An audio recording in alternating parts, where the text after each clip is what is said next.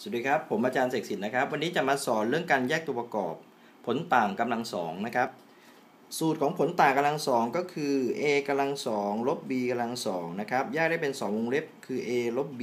นะฮะคูณกับ a บวก b นะครับ ลักษณะของโจทย์แบบนี้นะครับ ก็จะต้องมองเห็นว่านะครับมันมีลักษณะของการจัดพจน์แบบผลต่างกำลังสองเราถึงจะใช้สูตรนี้ได้นะครับ สมมติเรามี x กำลังสองคูณ y กำลังสองลบ 4 a กำลัง 4 b กำลัง 4 นะครับ ลักษณะแบบนี้เข้าข่ายเป็นผลต่างกำลังสองไหมก็ต้องจัดพจน์ดู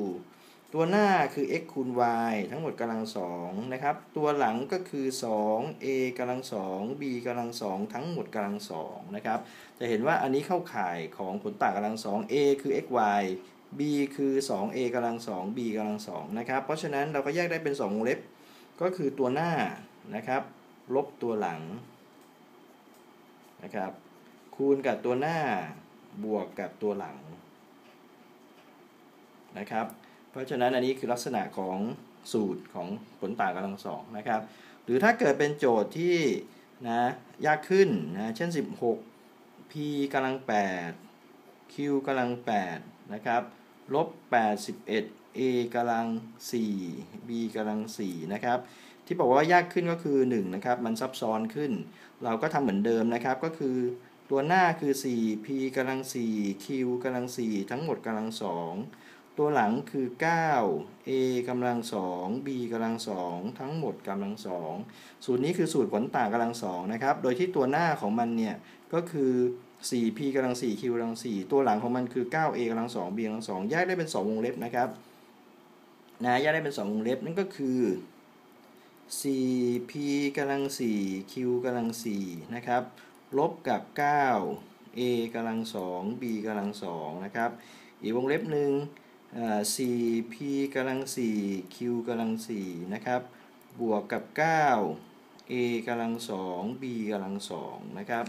คราวนี้ถ้าเราสังเกตดีๆเนี่ย อันนี้ก็เป็นลักษณะของผลต่างกำลังสองอีกนะครับ เพราะฉะนั้นเราก็จะใส่วงเล็บเพื่อจะทำพจน์หน้าตัวนี้ต่อนะ ยังไม่เสร็จ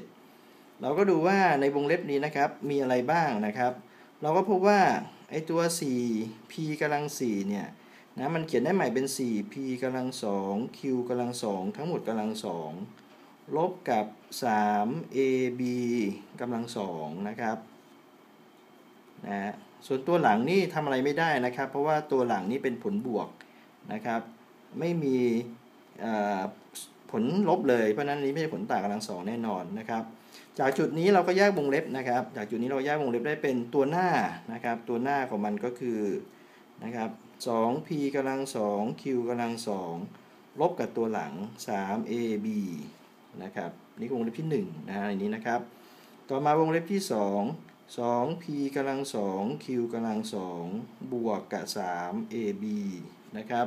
ส่วนวงเล็บหลังนี่ดึงลงมาเฉยๆนะครับ ดึงลงมาเฉยๆคูณกันอยู่นะครับ เพราะฉะนั้นสุดท้ายคำตอบเนี่ยนะครับถ้าเราเขียนให้ประหยัดเนื้อที่นะครับให้เต็มๆเนี่ยก็ได้ 2p กำลัง 2q กำลัง2ลบ 3ab นะครับคูณกับ 2p กำลัง 2q กำลัง2บวก 3ab นะครับแล้วคูณกับพจน์นี้นะครับ 4p กำลัง 4q กำลัง4นะครับบวก 9a กำลัง 2b กำลัง2นะครับก็จบนะฮะเพราะฉะนั้นใครยัง ไม่เข้าใจนะครับย้อนดูนะวิธีการทำนะครับ เมื่อเข้าใจแล้วนะครับ เราก็ฝึกทำบ่อยๆ แล้วก็จดจำสูตรนี้ให้ดีนะครับ วันนี้คิดว่าสมควรเวลานะครับ ใครคิดว่าคลิปนี้ดีมีประโยชน์กดไลค์กดแชร์ สนใจติดตามกด subscribe นะครับนะอย่าลืมกดไอตัวรูปกระดิ่งด้วยนะครับ ให้เปิดนะ เวลามีคลิปดีๆ ไปถึงก็จะรู้นะครับ โอเคครับ วันนี้สมควรเวลานะขอบคุณทุกท่านครับ สวัสดีครับ